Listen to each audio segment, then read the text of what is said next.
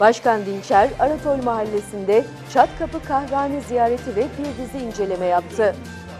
Geleceğin Aksaray için kolları sıvayarak yapımı devam eden ve yapılması planlanan projeleri yerinde inceleyen Belediye Başkanı Evren Dinçer, saha gezileri kapsamında vatandaşlarla da bir araya geliyor.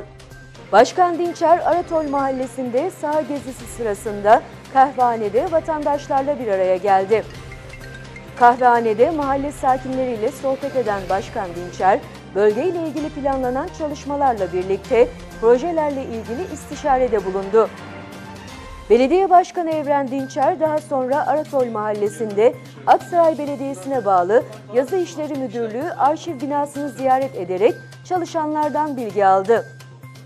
Başkan Dinçer vatandaşlara hizmet açısından büyük kolaylık ve işlemlerde hızlılık sağlayan elektronik belge yönetim sistemini inceledi. Teknolojik altyapıyla kuvvetlendirilen tüm iç ve dış birimlerle ilgili yazışma işlemlerini sağlayan EBYS sistemiyle evrak takibi daha kolay hale getirilirken arşiv sistemiyle de eski ve yeni evraklar dijital ortama taşınıyor.